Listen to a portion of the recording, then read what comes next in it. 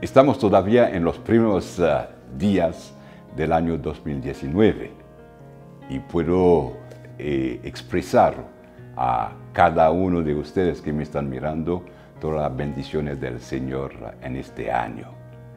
El texto de Jeremías capítulo 33, versículo 3, dice que podemos clamar, debemos clamar a Jehová y Él responderá y Él nos permitirá ver cosas grandes, importantes que no hemos visto. Es lo que nos promete cuando oramos a Él.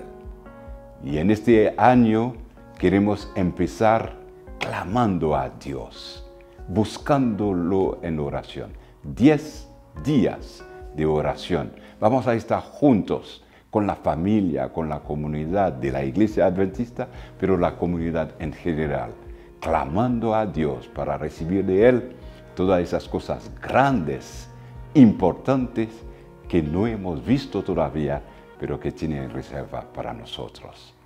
Es una invitación, pues, a quedarse con nosotros sintonizado para pasar 10 días de oración con Dios.